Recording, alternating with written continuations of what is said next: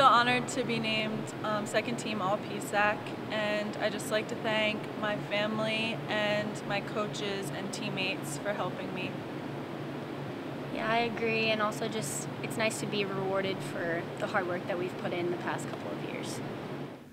Um, you know, it was an honor to be named PSAC first team. Um, obviously, you know, it's one of the best conferences in the country, and to be on a list with the uh, the great players in this conference was um, a huge honor again. Um, you know, a lot of the credit that I just got to give to my teammates.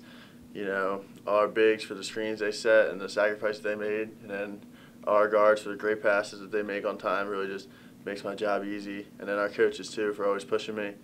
Um, you know, not not letting me be satisfied, and um, you know, making me work every day. So I have to give a lot of credit to my teammates and coaches.